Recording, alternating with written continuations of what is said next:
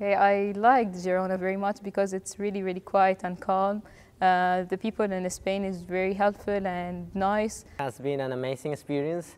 Girona is a beautiful city. It's not too big and not too crowded, so everything is close to the other places and also there are many beautiful places to visit nearby. I think the life here is, is perfect. Uh, people are very nice. I had the opportunity to go and discover all the history about the city.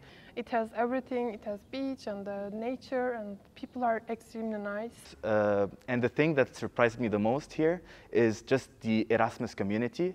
Uh, especially not just from the IFROS program, from other program, programs. A lot of Erasmus students that I was able to meet, I was able to make friendships. Erasmus students and my colleagues in the master, I really uh, like them all and uh, like to communicate with them and have know about their culture and also the culture of the Spain. Erasmus community surprised me the most uh, because a lot of people from all the countries uh, very different, but at the same time very friendly to each other.